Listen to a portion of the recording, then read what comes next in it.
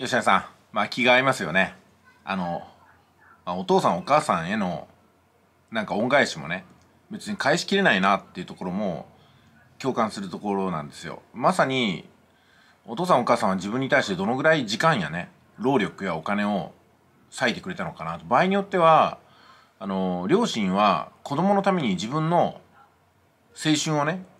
すべて諦めてと言いますか、引き換えにですね、子供が不自由しないんだったら子供が少しでもチャンスを得れるんだったらということで自分の20代30代を捧げてくれたわけですよね。本当だったらお父さんお母さんもあれしたかったこれしたかったもうちょっとお金をこれに使いたかったあったと思うんですよ。自分の夢を叶えたかった。でもそんな余裕がないと。1分1秒あれば子供のために1分1秒1円でもあれば子供のために少しでもチャンスを広げてあげるんだ。子供のために何かできないかっていうふうにやってきてくれたと思うんですよ。それこそ自分は食わなくても子供には腹いっぱい食わせるためにまあ戦後の日本じゃないですけどもね日々そうやって意識を割いてくれたんじゃないかなと。どんなにお金を稼ぐために辛いこと嫌なことがあっても稼げなければ子供がひもじい思いをすると。自分の能力のなさでもしかして子供が少しでも自分の将来のチャンスを失うんだったら一生かかっても申し訳が立たないっていうことでやってくれたんではないかなと思うんですよ。私もね今ねこうやって子供を育てる立場になって私がここで金をケチったがゆえに子供の知識や情報体験体験とか人脈に少しでもね置き去りになるものがあるんだったらこれはもう取り返しがつかないなと思ってできる限りのことを自分の気づく限りのこと集まる情報の限りのことをできないかなと思う。その答えが1歳でキンダーガーデンに入れてね今英語を喋り始めましたよ。よかったと思いますよ。私が40過ぎても50になろうとしても英語は 生半可なものですけどもね予備校まで行っといて。でも子供は綺麗なネイティブを話し始めたんですよね。すごい正確な発音ですよ。たまげると同時にもう感動で震えますね。だから負けないように俺もやんないとみたいな感じです。子供はきっと10歳ぐらいになったらうちの親英語も喋れねえよ。バカだよ。みたいな、ね、なっちゃいけないんで負けてたまるかって感じですよね。ここで負けず嫌いが子供に対しても働くわけですよ。まあ親父を見ろみたいな。絶対俺は投げ出さねえぞと。不格好ながら死に物狂いでお前レベルの英語は俺も身につけたぜみたいな、ね、胸を張って肩で風切りたいじゃないですか。えそして私の両親に対してももう5年6年になるんですよ。吉野さん6年目ですよ多分。6年目ずっと私はねお小遣い上げ続けてますよ偉そうに言うことではないですけどもそういうことができるようになってよかったなという気持ちも込めて一回も枯らすことなくずっとね支払い続けてもう優に1,000万超えてますよね渡した現金は。うん、で、えーまあ、北海道から沖縄まで沖縄じゃないか湯布院まで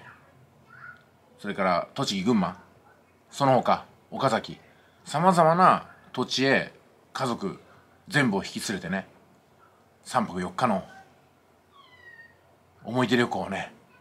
私の力量でプレゼントしましたよ。もうこれも感無量ですよね。あっち行ってもこっち行っても連絡使えよみたいな。これ支払い済んでるからみたいな、ね、いやこれができてよかったなと。俺は。よかったなと。下手したらですよ。この年になってもお父さんお母さんに出してもらってみたいなこともありえたわけですよ。もちろんそれを卑下するわけではありませんけど私はそれはやりたくなかった。でもねどれだけやっても返しきれないっていうかもううちの両親は両親でね爪に火を灯していろいろとね健康も財力も貯めていきましたんで大贅沢はしないまでも多分老後を逃げ切るところまではいろんなもん準備してると思うんですよ。ですので私がいくらねあれをあげるこれをあげるあれをしてあげるこれをしてあげるって言っても全部余っちゃうみたいな感じでしょうね。うん。だからまあ、間に合ったような間に合ってないような。できれば見たこともないようなね。中国やアメリカや香港マカオインドネシア。数々の私の旅路にも同行させたかったなと。飛行機もねファーストクラスでドーンと「おすげえなお前どんな世界に過ごしてんだ」みたいなね。見せてあげたかったけどもうすでにね飛行機に乗って海外に行く気力がないというかね興味が失われてますよ。だからそういう意味でも世界ってどうなのかなって思ってる時期に私はとてもそんな状態じゃなかったんでね。取り返しがつかないことの一つだなと思います。まあでもねこうやって毎日日々今日も、うん、大和君を中心に私の両親と奥さんと家族とこうやって毎日のようにね関わりながら日を過ごしていく中でああでも一歩間違えればもしかしたら闇銀ドックス5のラストシーンは俺だったなと、うん、ひょっとしたらねああいうビジョンがあったから待てこんな悲劇を繰り返していいのかと思って這いつくばったのかもしれませんね。まあでも全体的に私見えっ張りでね負けず嫌いなんですよ。だからどんなにひもじくてもひもじいとかね金がないっていうのは一切ね口に出しませんでしたね。金がないと言えるのは金を貸してくれる人に対してだけですね。もう借りた金を使いまくって街を潤わして見栄を張っていました。その見栄張りが結局滑落寸前にまあヒルズに至るということでございますか。隠居に至るということで。だからなんかね私なんてねその派遣会社の採用とかなんかガードマン以外のバイトは全部落ちたわけですよ。そんな30代でしたよ。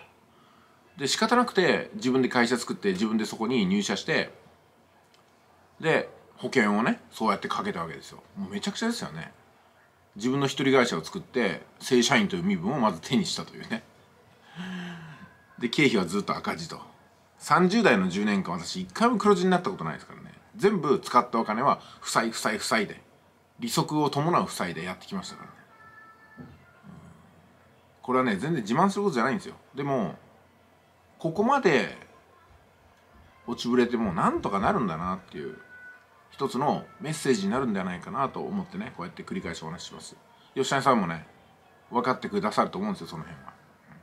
まさに同じトンネルを歩いてきた、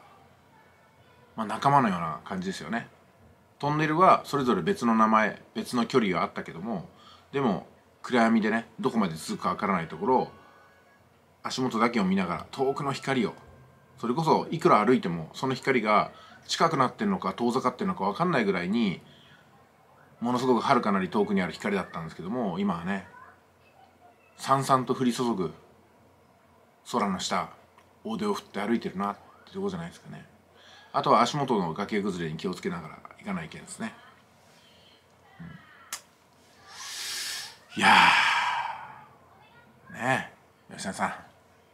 いってらっしゃい。